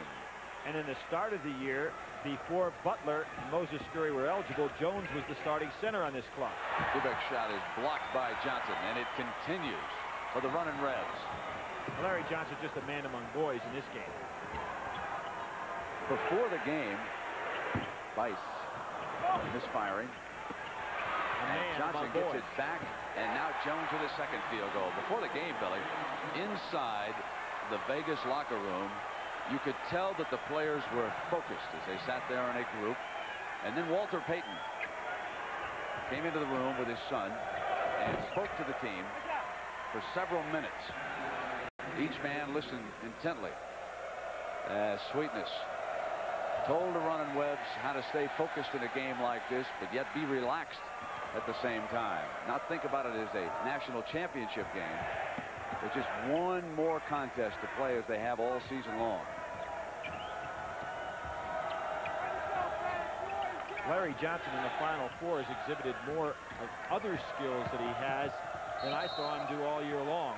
Dribbling Anthony. in the outside, hitting those three-point jump shots, faking the jumper at the top of the key, driving by. Even Lois watching this action. Brennan she used to yell and scream a lot. And now, of course, she has those rosary beads to help get her through. And the, the running Rebs are beginning their celebration at 243 as Duke will head back home after failing to win a national championship. And that's the eighth time that they have come here. Brendan, you see Lois uh, up there. It was a great story. She went to Mass the other day, tried to get Jerry to go along, and Jerry was just too busy to go. She gets to Mass, kneels down in the pew, looks over, and there's Mike Krzyzewski, and she said he was praying very hard. Obviously, it didn't work. That lady has been through turmoil during, of course, this NCAA process with her husband.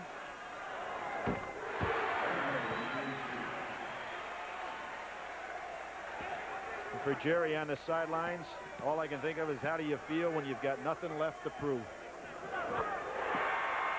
And there is the record. 99 points sets a new standard for points in a championship game. 99 to 66. Still 243 to go.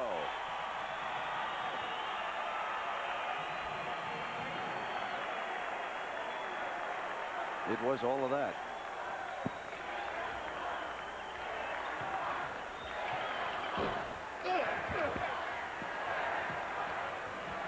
Jones gets it into Cvijanovich's hands. When you look back as Bice double dribbles, and for Mickie Krzyzewski, the coach's wife, this has been a long night too, watching from the stands here. 99-66. Well, Brent, there have been three different coaches at Duke University have taken their squads to the Final Four, and none of them come away with a victory. Vic Bubas did it twice. Bill Foster in 78 losing to Kentucky. And now Mike.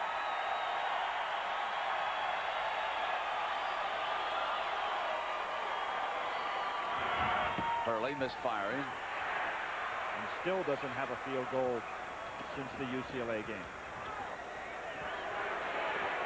That's Dave Rice putting one up. Jones can't knock it in. And for people who think that this Vegas team is going to disintegrate, Clark has probably had his finest recruiting year in a long time for next season, with a lot of these players returning. Joe Cook with the field goal. And how about the young men from Ball State who are watching this game? How close they came against the running Rebs. That was a two-point game. And right, Paris McCurdy slipped on the sidelines coming out to what could have been an opportunity to tie or win. Jones missing. And the ball will go to Duke now as both coaches have cleaned the benches.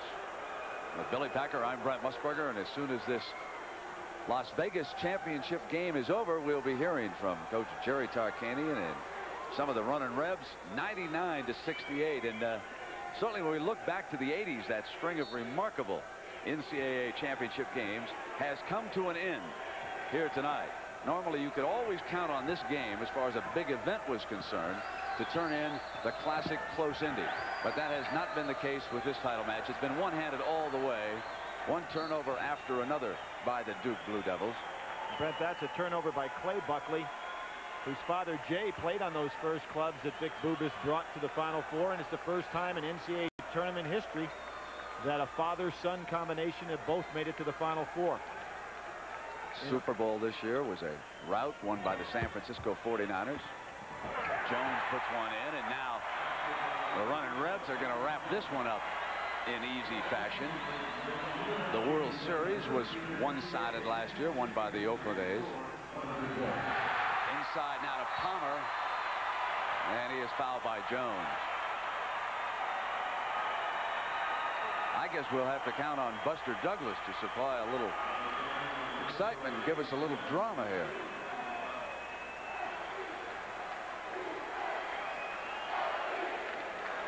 Twenty-nine points for Hunt against the Blue Devils. 19 in the second half. Johnson with 22 points and 11 rebounds. Anthony 13 points and 6 assists. Augmon 12 points and 7 assists.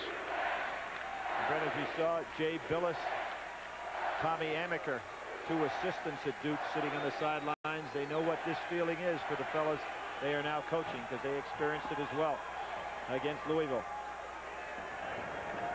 Well, the shark isn't taking a bite, as is written on those T-shirts. He swallowed the whole tuna here tonight. Off into Cook's hands. Davis on his left, and they turn it over again. Jones wanting to make a fancy play. Jones hits it 23. Duke turnovers in this game, 103 to 70.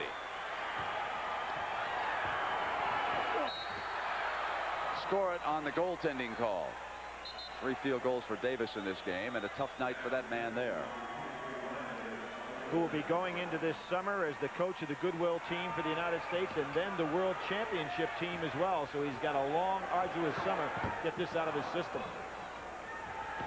Well, Las Vegas, get ready. That town won't be jumping tonight, will it? You're about to have your first NCAA championship. Only 10 seconds to go now. 103-72.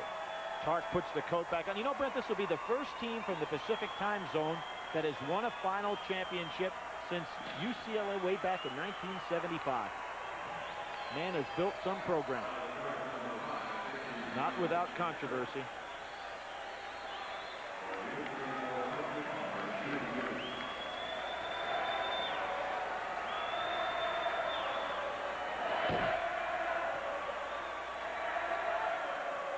Brent, you've covered a million sporting events. Have you ever seen one where a team at this level has dominated in every facet of the game? Yeah, the 49ers.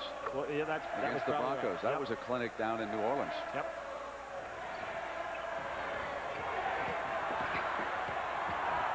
Lost it, and coming back is Hurley. But this night belongs to Las Vegas. They have won their first ever national championship and in three trips. The Shark comes away a winner in a record-setting night. 103-73. UNLV.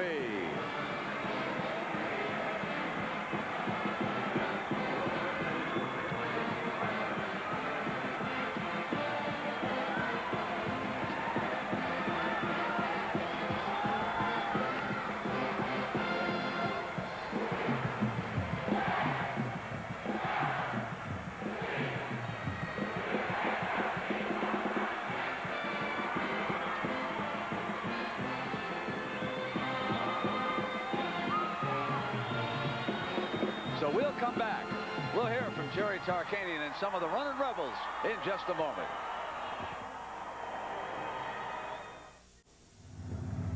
It's the biggest blowout in the national championship history, surpassing UCLA's 23-point victory against the University of North Carolina, 78 to 55 back in the 60s. And it was a 30-point win at all. Consider the Running Rebels opened the tournament against Arkansas Little Rock with a 30-point win, qualified for the Final Four by beating Loyola by 30 points, and then win the championship tonight by that same mark, 30 points. Now, the Chevrolet most valuable players of the game, Anderson Hunt for UNLV, 29 points, and Phil Henderson for the Duke Blue Devils with 21 points. And right now, let's take it back down courtside and join Brent Musburger. All right, Jimmy, thank you. So hail to the champions. And uh, Jerry Tarkanian, in your wildest dreams, did you think it was going to be this easy? Oh, I never expected anything like this. I told the kids it's going to come down to the last shot of the game. I only hope we make it. Make it. Jerry, I want to ask you one thing. With all your problems that you've had at UNLV, you have stayed with it. Did you ever think about quitting and walking away as a coach? No, I love UNLV. I love what I'm doing. And I tell you, this win is this win is for the kids, but it's mostly is for the great people in the state of Nevada. The whole state supports us, and I'm just so happy for them. Jerry, Billy Packer's got some of your great players. Well, Brent, I don't think any guy typifies this club any more than this guy right here. Greg Anthony, tremendous performance tonight. Even with the wired-up jaw, you've led this ball club for a long, long way. Well, it was a great year, and I'm just proud to be a part of this team, this community, and the university. You know, we've had a lot of hard times this year, but we've all stuck together. You know, we've been a team and a family, and I'm just so proud. You know, I don't have any other words.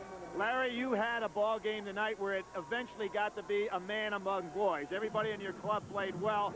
You showed us some things in the Final Four we haven't seen before. Where does that 23-foot jumper come off the break? That comes from Tim Grgurich working with me every day after practice shooting it. And, and they really, really just helped me develop my game and my jump shot. And the team and the coaches and the fans deserve all the credit for this win today. And Anderson Hunt, you were the Chevy player of the game. I know Jerry over there, every time you start the ball game and see you two guys get hot, he says this baby's over. But you got hot early. Yeah, Greg gave me the ball at the right time, and unfortunately my uh, arm shot was, shot was falling. Congratulations. Tremendous game. All right, now let's go to James Thank you very much. Mike Krzyzewski, I know that coming into this, your fourth Final Four, second title game, you felt comfortable that this just might be your year. Well, I think if you don't feel that way, then you'll never have a chance. But uh, uh, our team was overmatched today. Uh, UNLV played a great basketball game. They're more athletic than we are, but they never they never let down. They never let down, and they play championship caliber ball, and they they're better than we are when they, especially when they're playing like that. So I'm proud of my basketball team. I think they had an incredible year, but there's no way we're going to beat them tonight. Emotionally, you tried to fire your team up at halftime with the tongue lashing. Do you think your guys were in awe of UNLV at the first half? I think we're, I don't know if it was just UNLV or the whole circumstance, but I think it was their, their defense pushed us out, and they took, they, they knocked us back on our heels. At halftime, I thought we collected ourselves pretty good, but then we missed an easy shot, and then they never let down. You know, you're hoping at that point that maybe UNLV might let down and we get back in the game. Instead, they were better, and uh, they never gave us an opportunity to get back into the ball game. Let me tread lightly, but ask the question, any weight you feel, any additional weight not having won it again? Oh, no. If we would have lost the one-point game tonight, you know, then, then that would be different. Uh, I'm very proud of my team. I, our team uh, gave us a magnificent season, and we lost to the best team in the country playing at their best. And uh, more so should be given credit to just Jerry and his kids. Boy, Johnson and Augmon and Anthony were men tonight. I mean, well, their whole team, but I, Johnson and Augmon are two of the best players in the country, and, and they're class kids. I think their program gets a little bit of a bad image, and they have great kids, and those two guys epitomize uh, the class that they have. No one doubts your ability and the success you've had at Duke. Congratulations, Thanks, Mike. James. Thanks. All right, let's go back upstairs to Jim Nantz. All right, James. Another fiendish Final Four for the Blue Devils. Eight times Duke has been to the Final Four without bringing home the crown.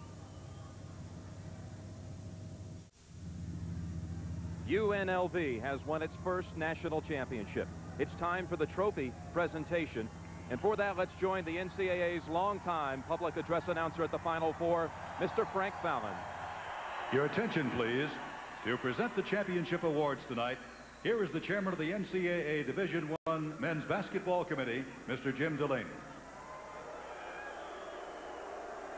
On behalf of the NCAA Division I Men's Basketball Committee, Jerry Tarkanian, coach of UNLV Running Rebels, I have the trophy here for the 1990 NCAA Division I Men's Championships. Congratulations, Jerry.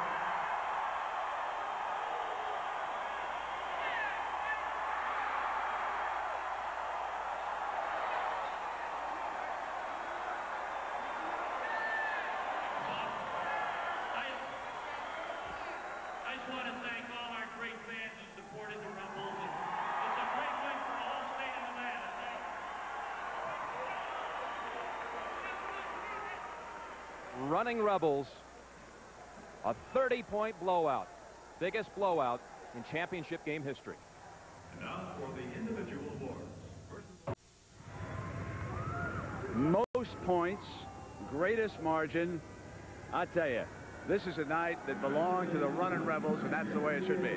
But as you know, this was my last assignment for CBS.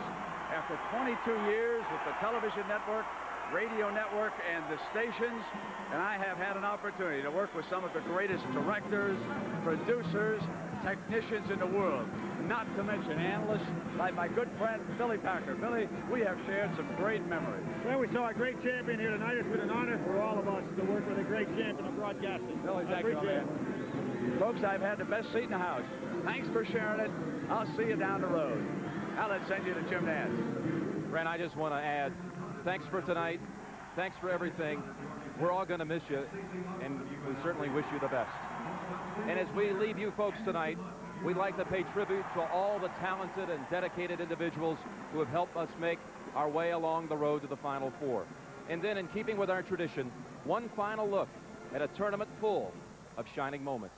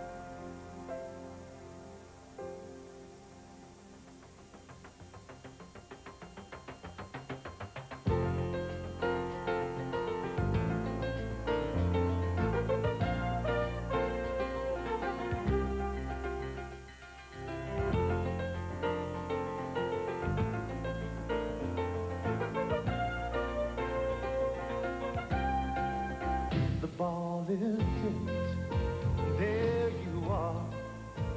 You're running for your life. You're a shooting star.